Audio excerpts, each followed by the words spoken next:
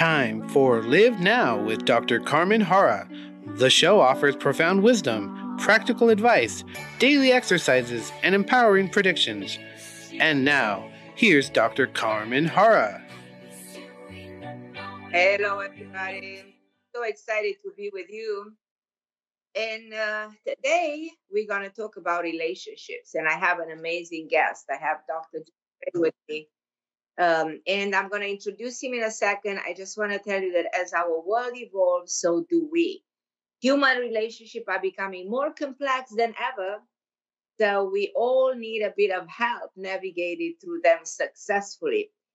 So men and women are advancing past soulmate relationship and seeking soulmate relationship. But this new freedom does not come without new challenges. So, what do we do when our partner is emotionally cold and distant? How should we handle mixed signals? When is the right time to open up to your love interest about your feelings? We have to learn how to overcome obstacles in love and make your significant other more attached and more interested in you and more attracted to you.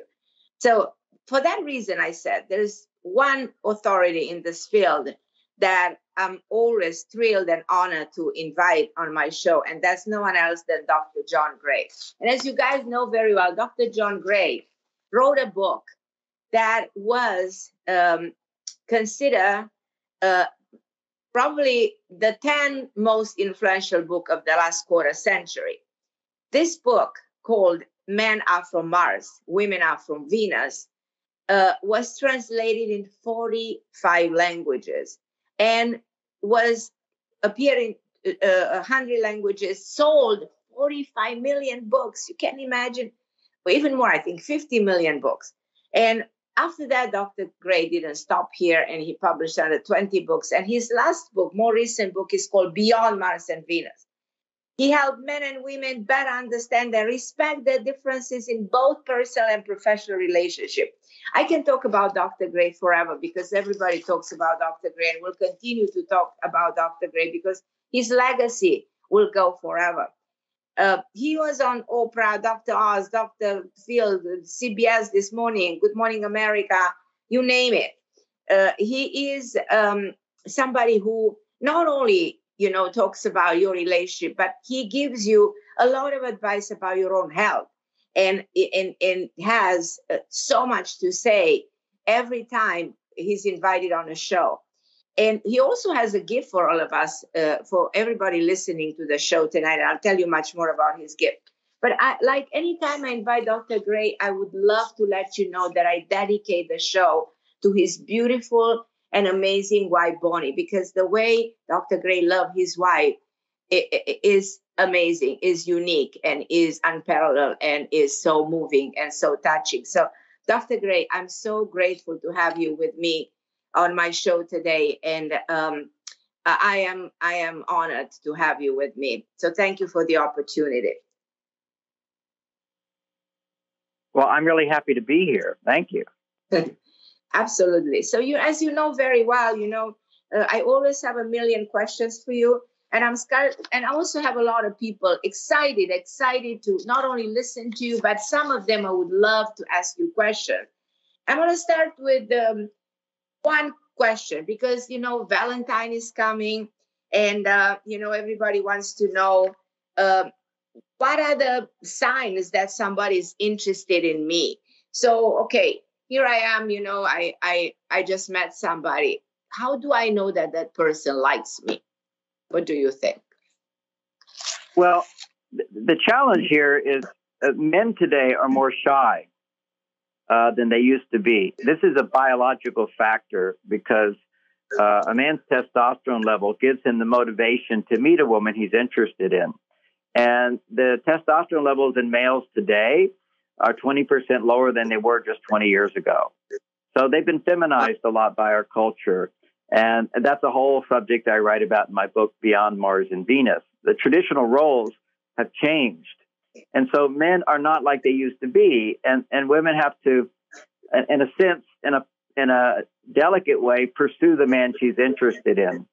But, but you must be careful if you're a woman not to be following your attraction feelings if you're uh, experiencing sexual attraction to a man. Usually that leads down the wrong road.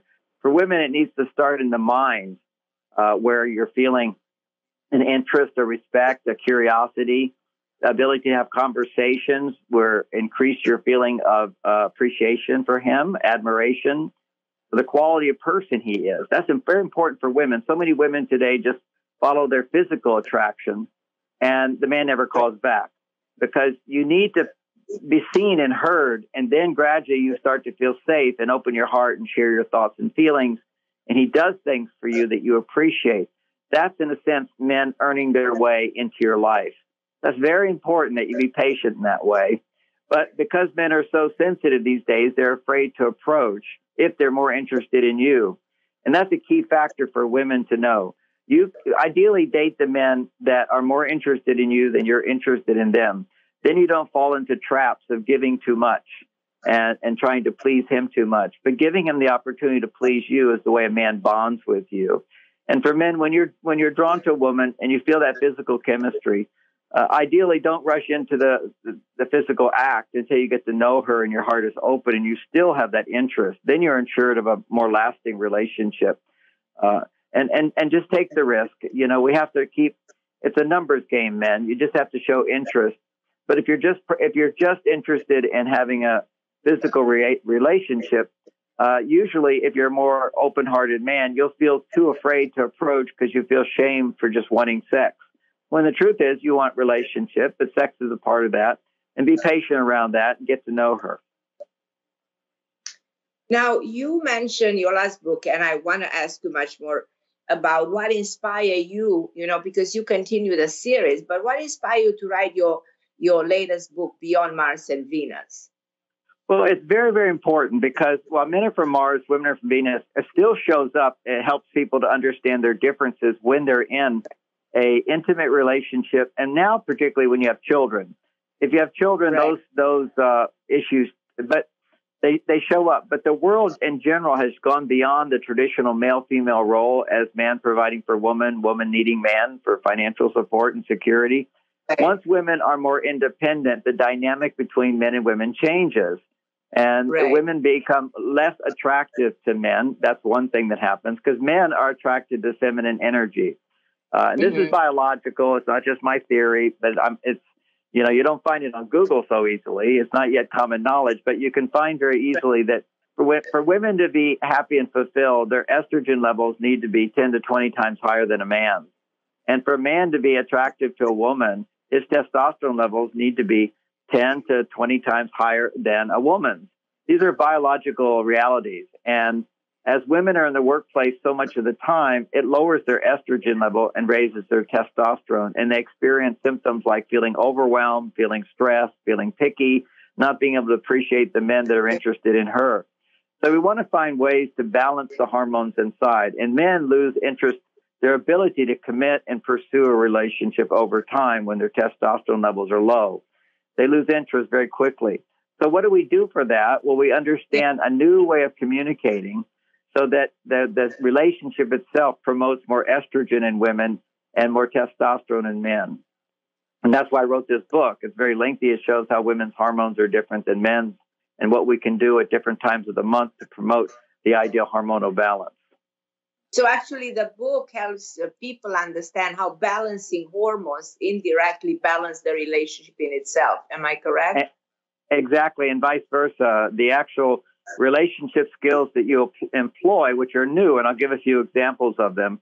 Uh, those relationship skills can actually balance your hormones. So many women now are taking hormones, right. are feeling their hormones are out of balance, and that's one one path. But what you want is a relationship that promotes the right balance, and then in most cases, you don't need to take hormones.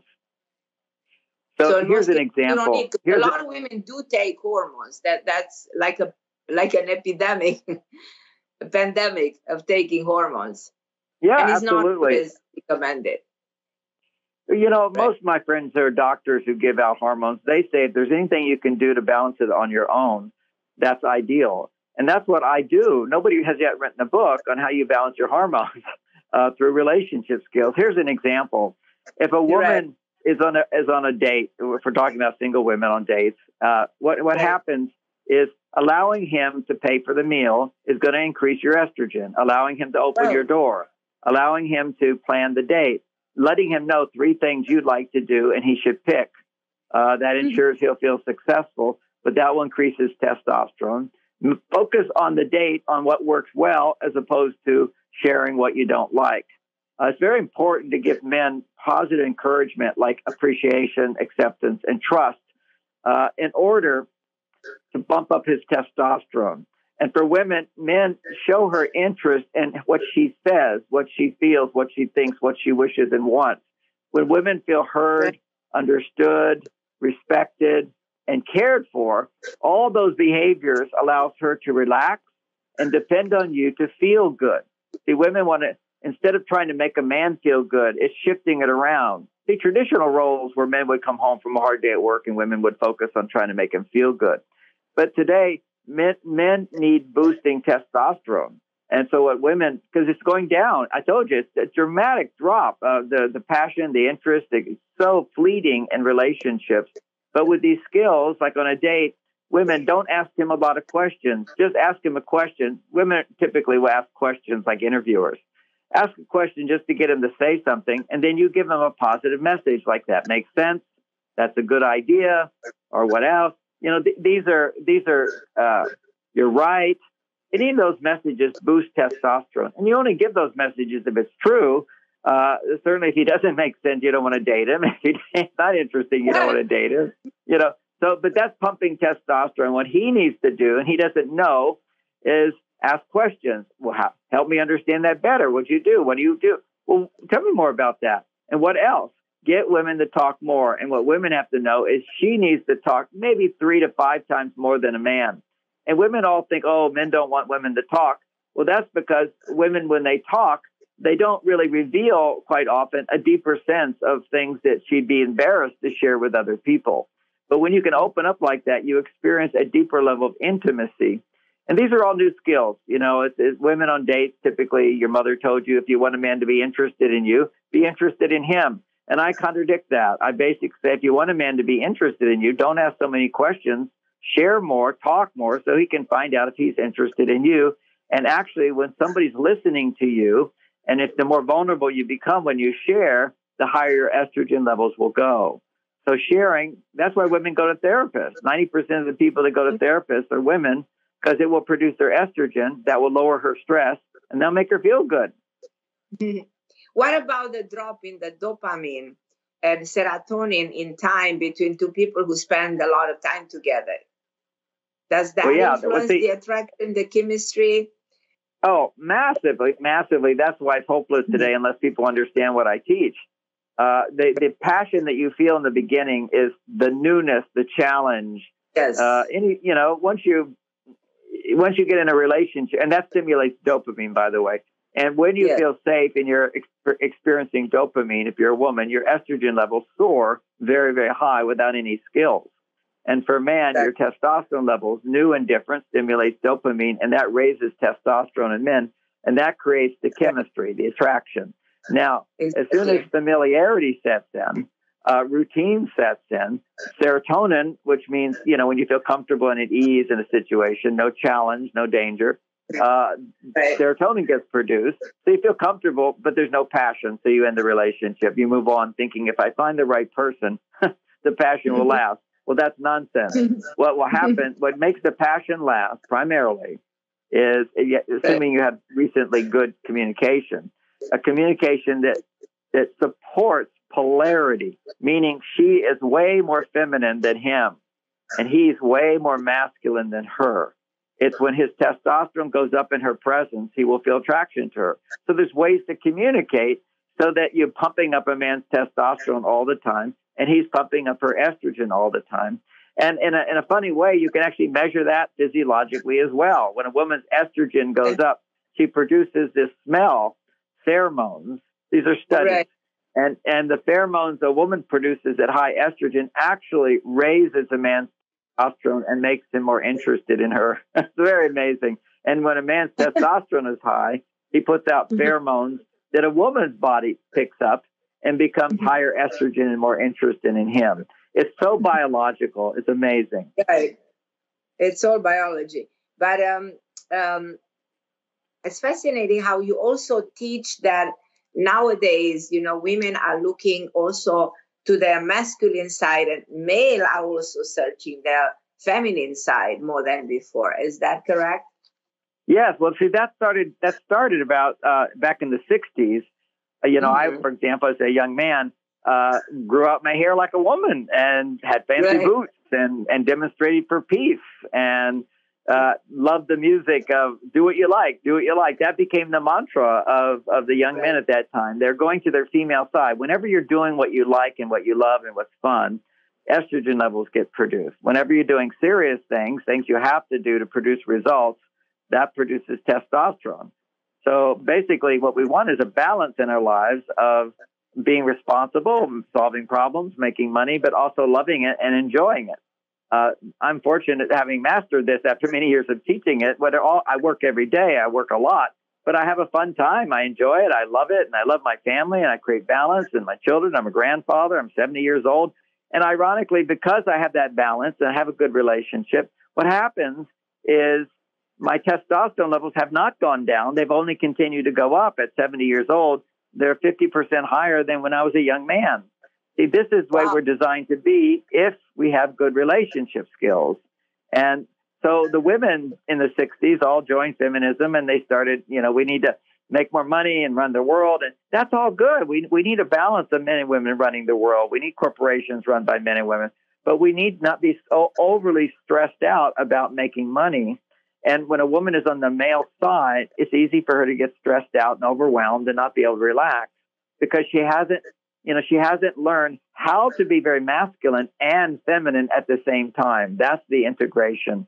So every day, if you go to work, there's going to be stress. You need to make sure when you come home from work, that's called work life balance, that you have a life that promotes a lot of estrogen production. And then you start to integrate the two. Exactly, exactly. Dr. Gray, do you mind if we take a caller? Somebody, there are a lot of people trying to, to say hello to you. Uh, that's, that's that great. Okay? I look. Yes, that's fine. We're going to talk to Domingas. Hi, Domingas. Can you hear us? Yes, yes, absolutely. So, Domingas, you have uh, the privilege to talk to Dr. Gray today. I know. You have thank questions you. to Dr. Gray. Yeah, thank you.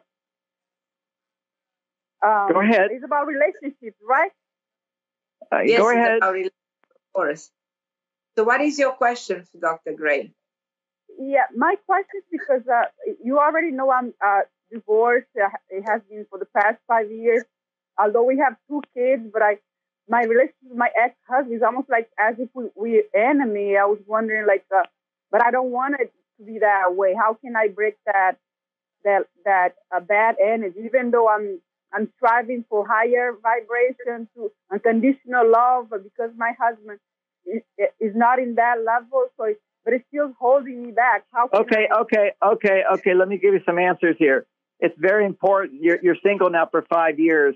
You need to primarily uh, focus on finding a new man in your life. It's very important for your children to see that your mother is uh, has a positive experience with the opposite sex. This is very important today because of so many unhappy divorces, uh, boys' testosterone levels are even lower, and many times they become gay.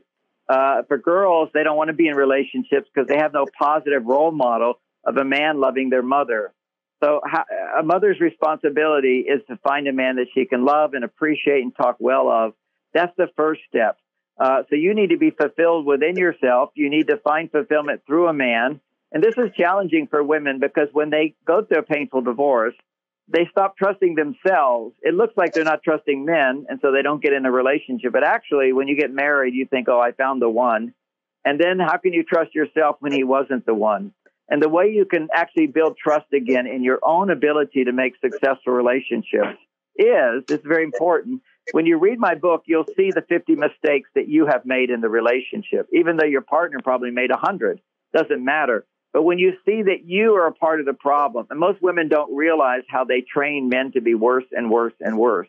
Staying with a man, even if he gets angry out loud and yells at you, you have to instantly say you're being a bully and walk out of the room. Never engage in an angry man. You have to stop talking. But what happened is you had lots of arguments and fights, and and that's just as much his his problem as your problem. And when you can see our own mistakes in relationships, then it's easy to forgive our partners because we realize we're not really the victims we think we are. When you have that approach, then you'll have a more neutral attitude when you're dealing with your ex-husband and you don't engage in negativity or trying to change him or feel good through him because you have a life that makes you feel good. So these are all very, very important a- a- aspects. And I do have a whole book on this called Mars and Venus Starting Over. But I still recommend the book uh, Beyond Mars and Venus because it's the most important book to show you the mistakes you make because people don't realize the mistakes they make. You know, if you think you're doing the right thing, and most women are trying to do the right thing, they just don't know how to bring out the best in men, particularly when men, men modern men today. Thank you for your call. Okay, Mars and Venus start over. The other one? Yep, Mars and Venus starting over helps you to open your heart again. But the book Beyond Mars and Venus will show you the mistakes you made because that's very important that we see that we're not, you know, huge victims. Uh. We all are victims in some sense, but we're also the problem. We have to see ourselves both the victim and the problem. Then it's easy to forgive and let go and move on. Okay, beyond Mars and Venus. Okay, bye. Yes, yeah. yes.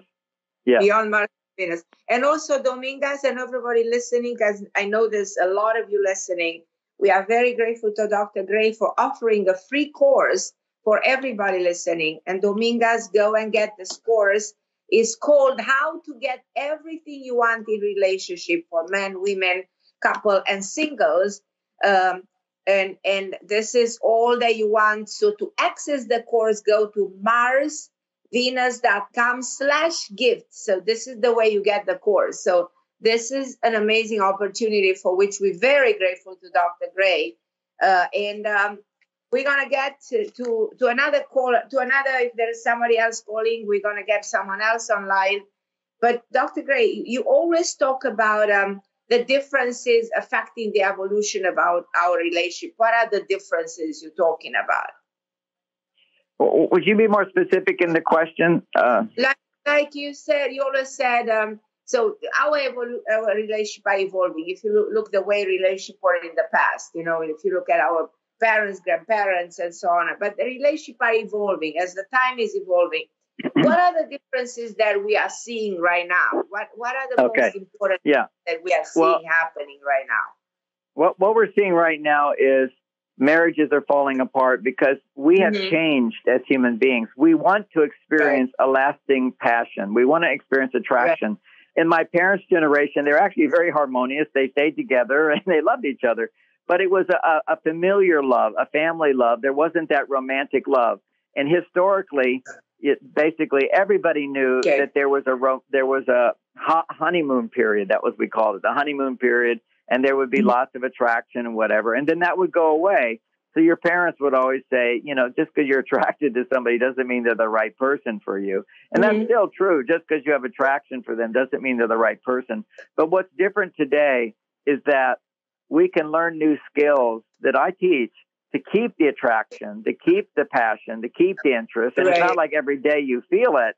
Uh, you actually experience it in waves uh, women tend to go up and down and feeling uh, romantic and loved and so forth. And then they come back to basic happiness and then back up to this ecstatic state. You go waves of that. That's normal. Now, if you don't have the right skills, that you become more like uh, mountaintops. You know, you feel really good, and you mm-hmm. crash, and then you feel hurt and devastated, and you go up and you crash, and then you lo- lose trust for your partner. Meanwhile, how men are different is we tend to be really close. We want to be romantic and loving, and then we ignore right. you and pull away. It's like a rubber band. He gets he stretches away, then he springs back, and the women think I can't trust love because he's back and forth, back and forth. And so there's skills to understand that journey and process. Uh, like I teach men, two of the biggest mistaken assumptions we have when it comes to maintaining attraction is women assume that men will always be motivated like they were in the beginning and men assume that women will always be happy about everything like she was in the beginning. This is completely unrealistic, but with skills, we can actually learn, women can learn to say and do certain things that will continue to motivate a man, and men can do, say, and do things that will allow women to find her happiness again and again and again.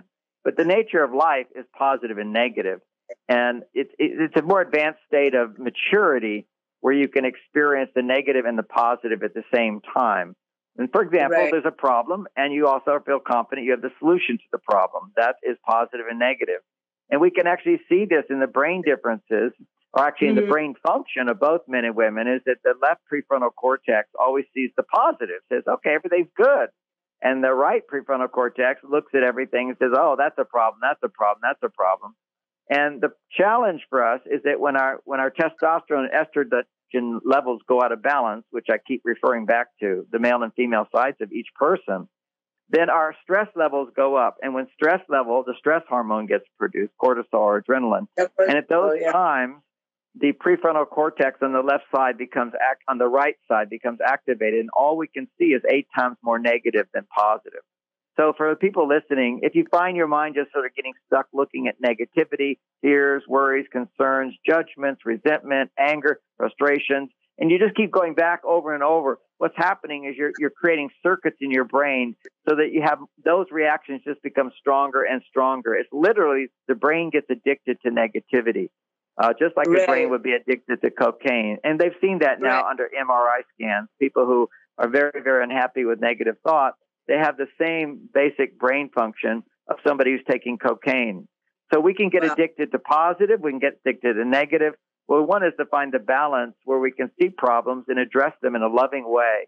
And that's how we change. And that's the dynamic of good communication skills. And really, we didn't know them. I didn't know them. I had so many challenges in my marriage with Bonnie. I do want to mention that I say it in past tense because Bonnie passed uh, due to cancer three three years ago. But during that time, we grew so much, and that's what I call a soulmate relationship, which I talk about in Beyond Mars and Right. Venus, where you grow in love by facing challenges and overcoming them. There's no perfect relationship, but some people do, like in my parents' generation, because passion wasn't a part of their relationship. Eventually, they stopped having sex and those things, but they were happy. Uh, they didn't really grow together in intimacy, but they stayed at a comfortable level. But when you face the challenges that, that you have to overcome again and again and again to experience lasting romance and passion, you actually grow into love. Whereas at 70 years old, uh, you know, basically I'm integrating my male and female all the time, which means there's massive romance, massive love uh, in my life, more than I've ever experienced before. It just continued to grow and grow into a happier, more fulfilled person. Right. Now, Dr. Gray, people don't know how to communicate. The problem is communication, as we know very well. Which of your books uh, uh, teaches communication skills, um, which is more relevant to people knowing not to interrogate and to properly communicate their feelings? And this is one of a major issues for a, a lot of couples. Yeah, it, it- communication is And one of everything. And let, let- the basic communication skills would be talked about. If you're single and you're dating, I have a book called Mars Venus on a Date, and so there's communication skills there Okay, so that's for single people. Mm. Then there's. Beyond Mars and Venus. I think is a whole new guide for communication because there's a right. there's a, a bias that you have to have. If you don't understand men and women are different, your communication drops out. Why? Mm-hmm. Because men will tend to, when women are talking about things they're unhappy about, men will tend to look at it logically and say, well, you shouldn't be upset about that. Well, there's nothing we can do about that, so forget it. Or you're misunderstanding me. And so when what, what what we do is we try as men, these are and women can do this, but more this is something that men have to understand that negative emotions are transitory. They pass. You don't want to push them down in your partner when she's speaking. We also don't want to push them down within ourselves. But you have to find the right person to talk to. For example, if you've got really a lot of anger at your partner, don't go tell them. You have to tell somebody else. And if you're angry, you can't just stay with just expressing anger. You need to explore other emotions like disappointment because you can't be angry without disappointment. You can't feel uh, anger without fear and concern and worry. And you can't feel the, any of those three emotions that I just mentioned without experiencing some embarrassment and shame or guilt because you're you're basically being a. And our goal is to be mm-hmm. positive. The problem with today is again with communication, we think that we should tell people everything we think and feel, and they should hear it to make them change. And actually, that doesn't change them at all. It's finding the love in your heart and not giving up complaining and instead learning how to request.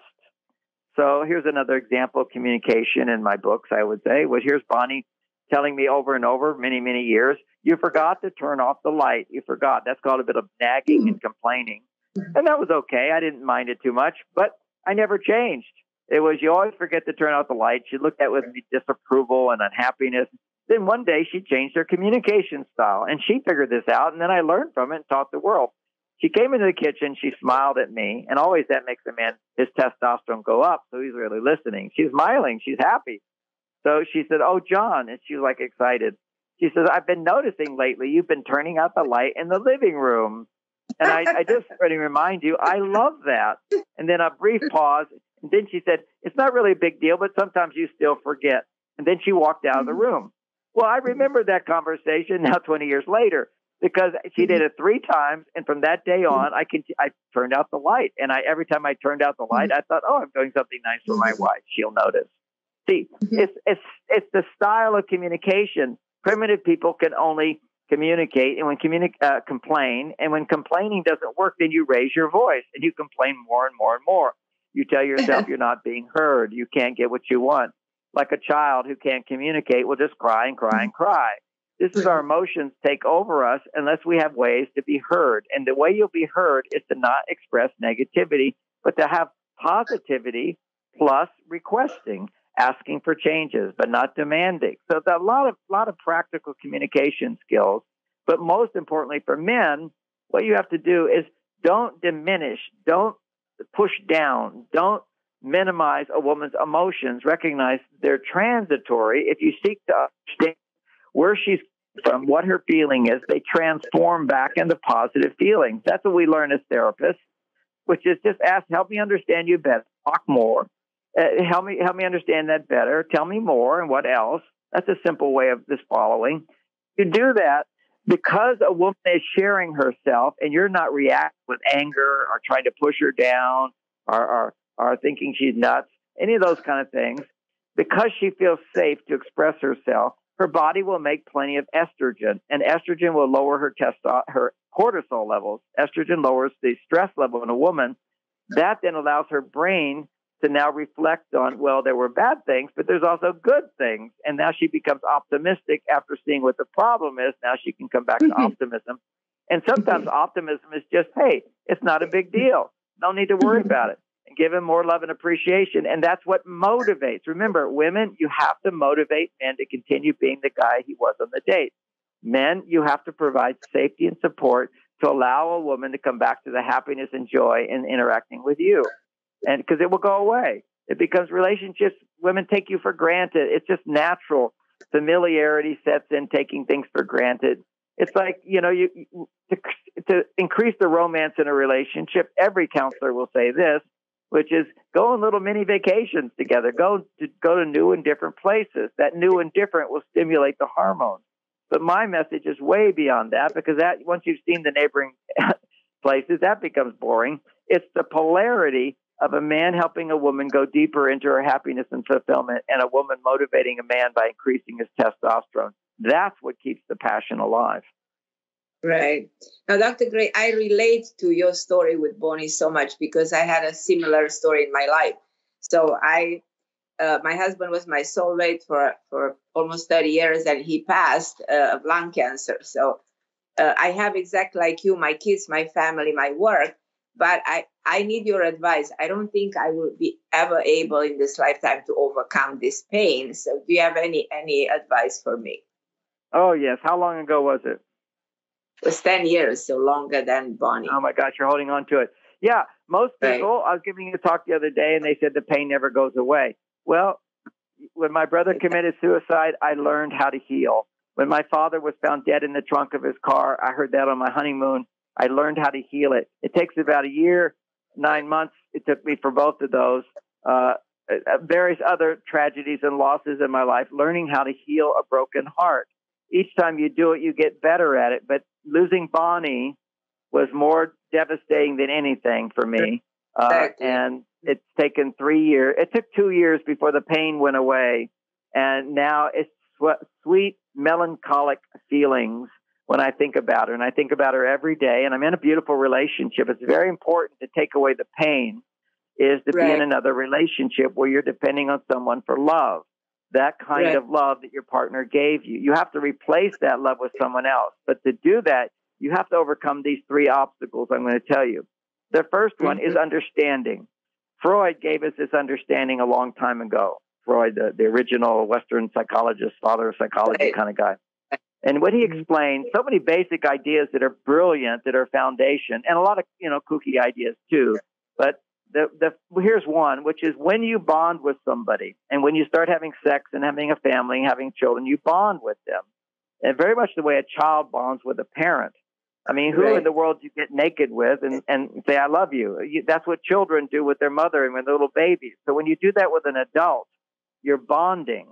Now that bonding does chemical reactions in your brain, which change your brain so that we all have a need for love but when you bond with someone to give you love, then your brain changes and now says, I don't need love. I need that person who gives me love.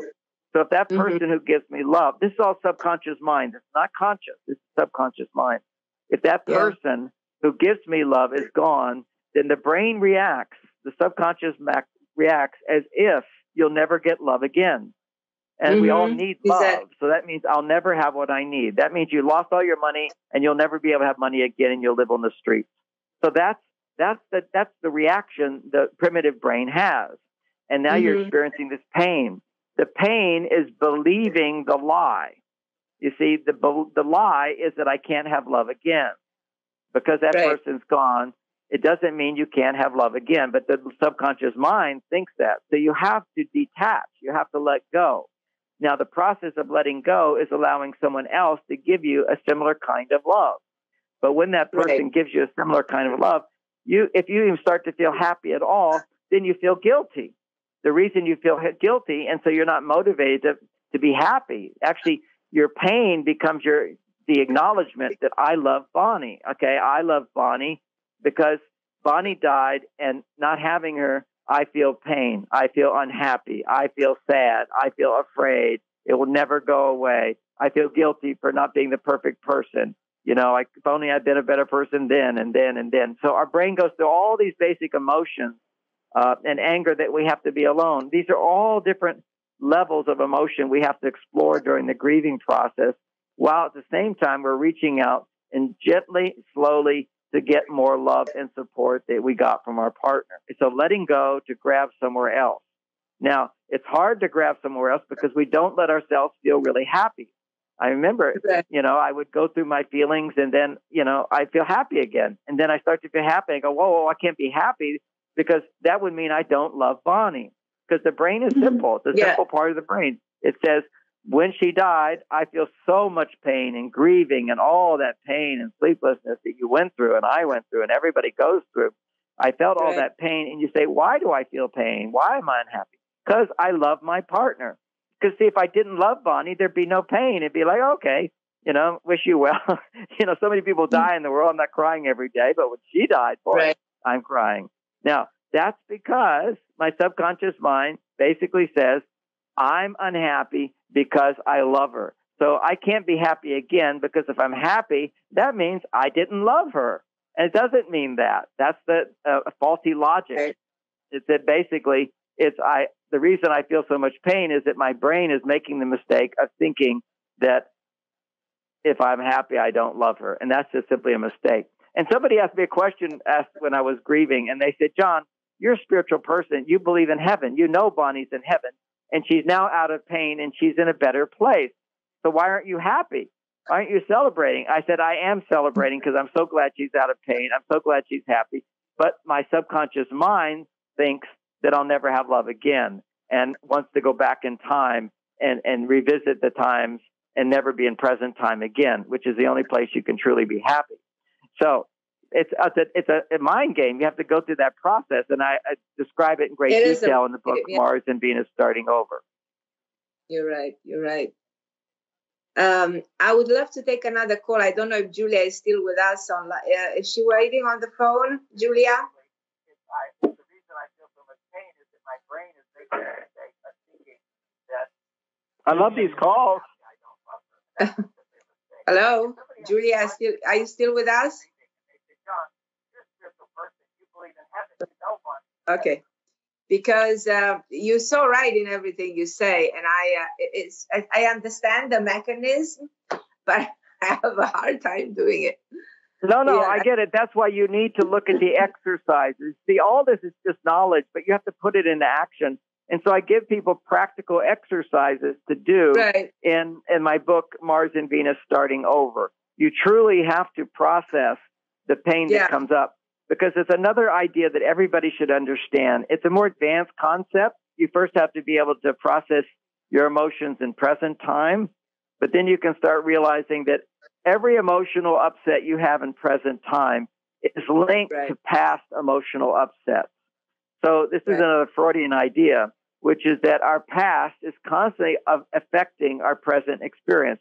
Let's say that you're a little girl and you can't trust your father. He beat your mother, or he was mean to your mother, or he left your mother and she felt always complaining about him and her life is miserable because he left.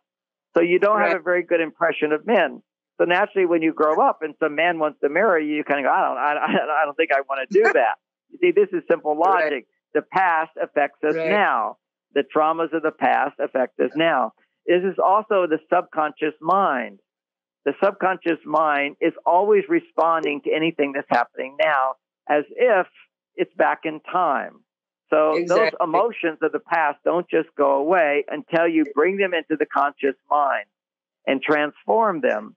And you do that by the recognition that when something upsets me in present time, it's only, and I'm very upset, 90% of that upset is something I had experienced as a child growing up or a teenager or a young person in my past. I'm just reliving part of what I'm here feeling now is what I feel now. I just lost someone. I feel alone. I feel sad. Oh, so sad, so alone. That then allows me to go go back in time and realize that when I was a little boy, I felt so sad and so left out and so excluded and so unimportant and so ignored and that's that's that feeling of the past is making me feel so much pain now because the brain feels all that and thinks it's all about I just lost my wife when really a piece of it, only 10% of it is the loss of your spouse or the loss of your right. money or the difficult right. situation you're in. That will be exaggerated by unresolved, they're called unresolved emotions of the past because a child doesn't know what they feel. They don't have the capacity to reflect and know what they feel. They're just not happy. They're, they, they, you could say to a child, Are you sad? And then they'll go, Oh, yes, I'm sad. Or you could say to them, You know, I say to my grandkids, I say, Are you happy? And they go, Yes, I'm happy. And you see them light up because it's the recognition of what I'm feeling if a parent can see that in the child. But our parents right. could not, didn't know how to process our feelings as children. So these remain unprocessed. You see, right. the brain just stores it as a, as a trauma.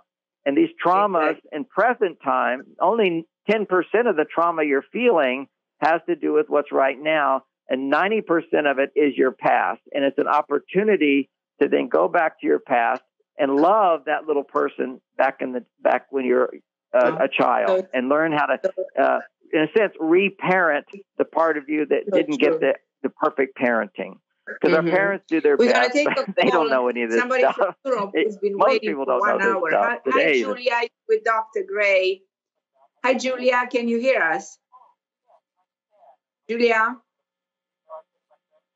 Hello? Hello. Hello, Julia. Can you hear us? Julia? Hello?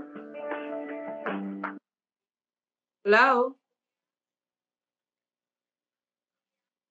Okay, can you get her back so that Dr. Gray can talk to her for a minute? I okay. here. So uh, if, we, if we're supposed to give our listener one last piece of advice, what is the number one piece of advice when it comes to love that you will give everybody today at the end of the show? If you find the true love in your life, they will always upset you. They will push buttons inside of you. Don't question that, oh, they're not my true love because they're upsetting me. That's the time to take a time out, process your feelings, and realize they're only a part of the problem. Come back with more love. Oh, that's so beautiful. Oh my God. Okay, so one second, one one uh, second with Julia, Dr. Gray. Hi, Julia, my dear. You've been waiting for one hour to speak with Dr. J. We have one 30 seconds. What's your question, Hi. Julia, Dr. So, Gray? I'm so honored, first of all, to talk with Dr. John Gray. Um, I feel blessed. And I have a question for, for him. Um, I've been single for four years, and somehow a part of me would like to be in a relationship, and the other part would like to be just free and independent. And my question is, how do I shut down that that side of me that wants to be still alone and independent? What can I do about that? Oh, okay. Well, I think both sides of you are very good. Uh, you mm-hmm. should go slow in a relationship. It's good to be independent and it's good to be de- dependent. You want to balance those two things. So you've got both sides of you. Your independent side, that's your male side. Your female side is a part of you wants to be in a relationship. And because you have some fear it won't be successful, you tend to go too far to your male side and you give it more power to be alone. Well, you know, rather than bother, I'd rather just be alone because I can take care of myself. And you can. And that's good that you've got that side of you. Because if somebody hurts you, you can always go back to that part of you that says, well, that's okay. I can be alone for a little while and I'll go find somebody else to love me.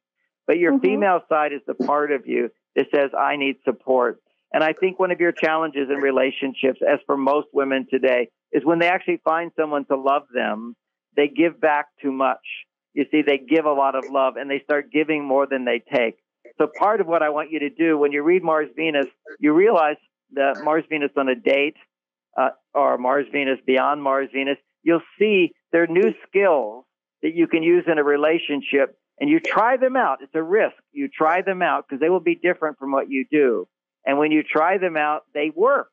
And also, when you take the free class at marsvenus.com forward slash gift, it will give you the step by step instructions of how you can come back to your female side so it becomes more dominant than your male side. And then the power of your need for relationship will actually motivate you to get in a relationship and your male side will figure out how to get more in the relationship using new strategies to solve the problems of the past.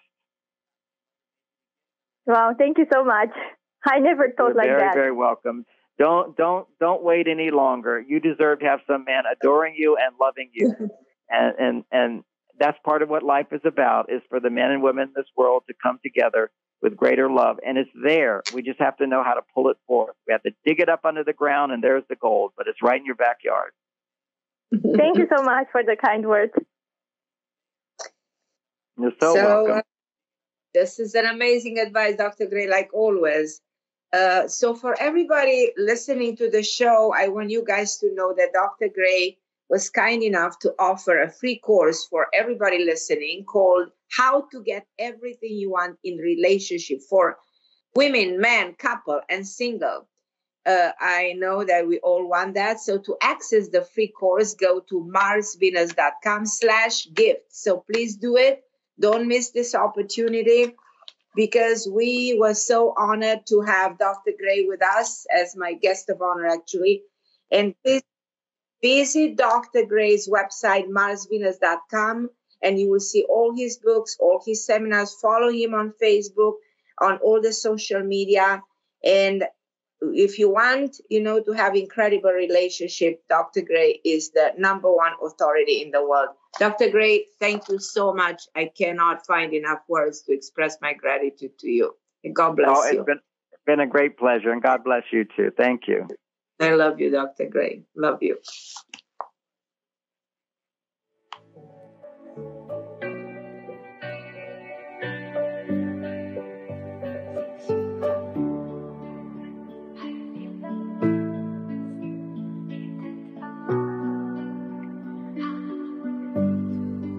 You have been listening to Live Now with Dr. Carmen Harra, heard every Friday.